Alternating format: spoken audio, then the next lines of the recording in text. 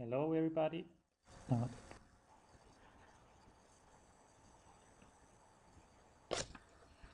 Hello everybody. This is a next session in Vensim System Dynamics. Today we are going to populate our first real model.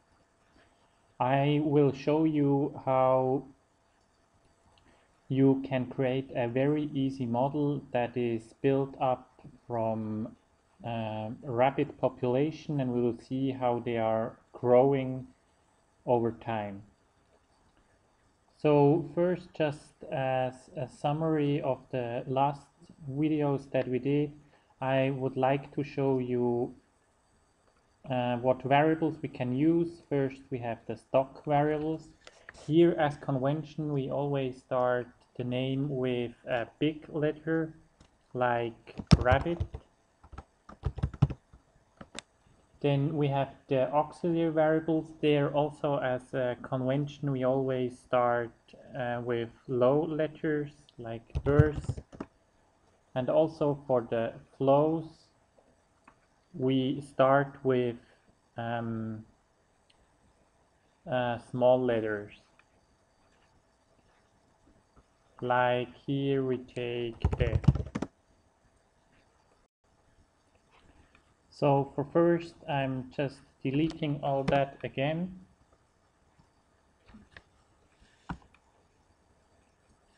And I want to show you how to start. We go to File, New, new Model. No, right now I don't want to do that. And then we have to make the model settings. We have to set the initial time like zero, final time we take now here 30, time step we take one. Units for time we can take year. So we are modeling from 0 to 30 years integration type believe like it is. And then we just have to click OK and we can start now to populate our model. So what we will have in our center is the rabbit population population in big letters and then this is the box variable. Then we have an inflow to this stock a rate. So what is the definition for coming in into the stock is birth and then we have the same the rabbits are also going to die so they are dead and then we have we are populating here with two auxiliary variables because we have to define the birth.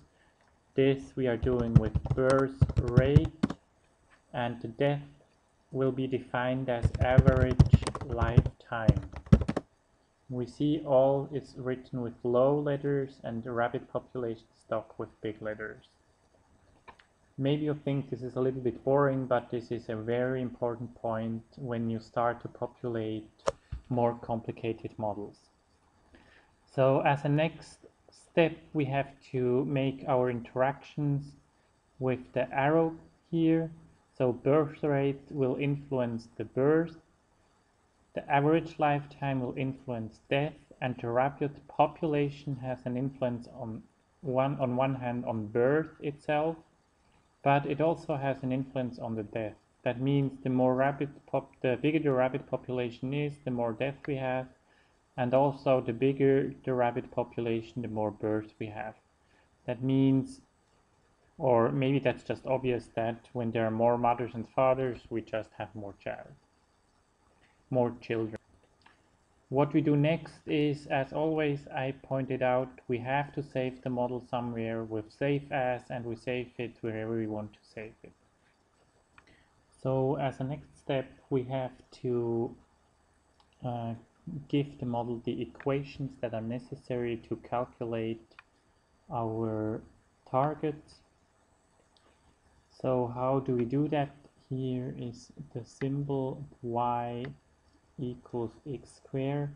When we click on it, we see that all the variables that are in the model turn black we can click now on the first one birth rate and we see that there's a window appearing where we have to give in the equations So the birth rate is a constant over time. This is from the start to the beginning is always the same. So we just have to give a number here. And we give this number now 0.125. And what is important is that we are always indicating here the units. So what we have here is one per year and when we put this in uh, we see that the type here is a constant because this is not going to change over time there are a lot more possibilities uh, how you can change and vary uh, the equations here but we don't cover this in this video so we just click OK we move on to average lifetime so the average lifetime of a rabbit is 8 years. So we click here equals 8 and the unit is years. it is important that we don't write years but year otherwise the Vensim will not detect that it's the same thing. Then we move on to birth, birth. How is birth this uh, the equation for birth is the birth rate. We see those variables here. That's just from where the arrowheads are coming so birth rate. And this is times the rabbit population. So the unit for it is rabbit per year and then we just can click OK. The same for death. The death is population a rabbit population divided by average lifetime and the unit here is as well a rabbit per year. And we click OK.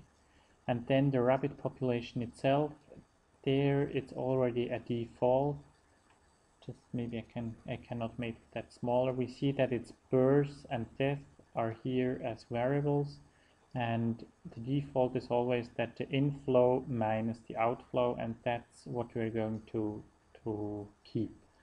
What we have to give here because it's a stock it's the initial value. So we start here with thousand rabbits at the beginning. The units is just rabbit and we just keep it like that and click OK. So what we have to do next is to check if our model is okay. And we have to do that, we have to click on model, then here it's written check model, we click on it, and as we see it's written model, model is okay. Whenever there is something that doesn't make really sense, it will give a message here and says that here or there is something not really logic.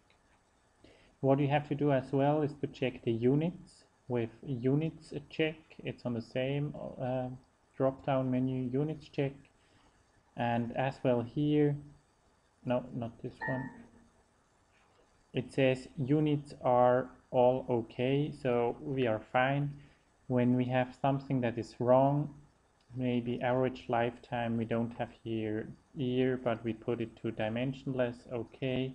We go back to unit check.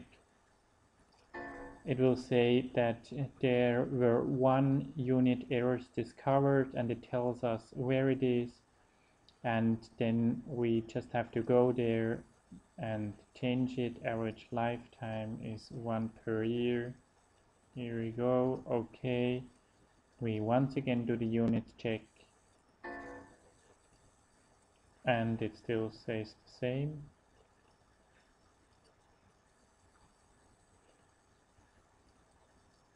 That's why it's not one per year but it's year and then let's see what's happening now. Now it says again units are okay. When you have a model where it is important to have rabbit equal to rabbits because on one hand you are using this and the other the other one then you can put that here on the settings you can write that Vensim is detecting rabbit the unit rabbit as the same as the unit rabbits and then you don't get uh, uh, an error message when you check for the for the units. It's the same here. Week is um, used as the same as weeks, for example, or day, days, hour, hours as well. Now, as a next step, we want to see if we did everything wrong and we can model and simulate what we wanted to model. We have to give here to the run a name that will be our saving name, like equivalent.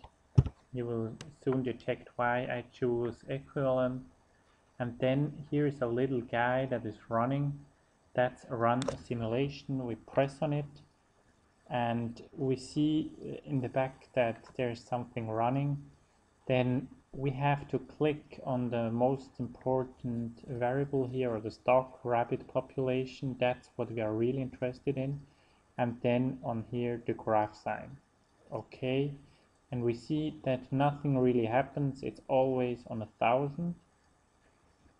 Here we see it in a graphical display. We can also go to the tab display, table display, when we click on it, we see that from the beginning to the end, it's always a thousand. So maybe we are a little bit disappointed that's nothing going on here.